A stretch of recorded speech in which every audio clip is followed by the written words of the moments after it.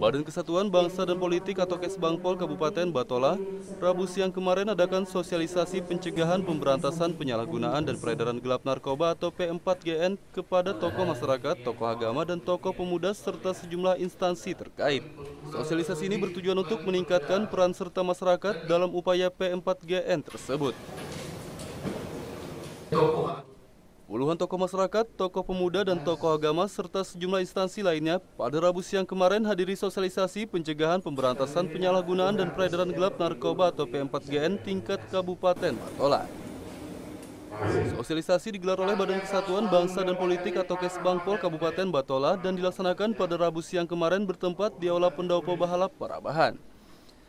Sementara meskipun peredaran narkoba di Kabupaten Batola tidak seberapa, namun P4GN sangat penting diadakan karena daerah Kabupaten Batola merupakan salah satu lintas penghubung antara kabupaten serta penghubung provinsi. Anggota BNN Kabupaten Batola Abransah mengatakan, adanya P4GN ini diharapkan bisa meningkatkan pemahaman dan pengetahuan para peserta, guna untuk mengubah karakter dan perilaku seseorang supaya anti narkoba.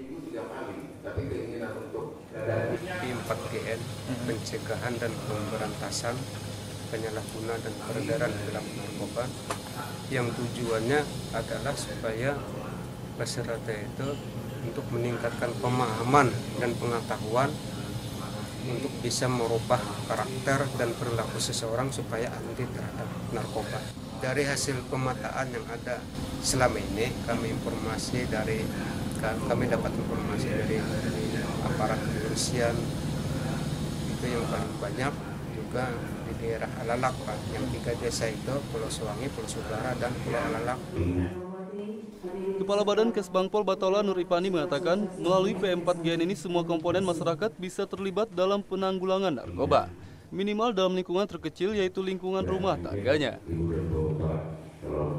Semua komponen masyarakat di daerah kita, khususnya Kabupaten Baritokwala, bisa ikut terlibat langsung dalam hal penanggulangan masalah narkoba.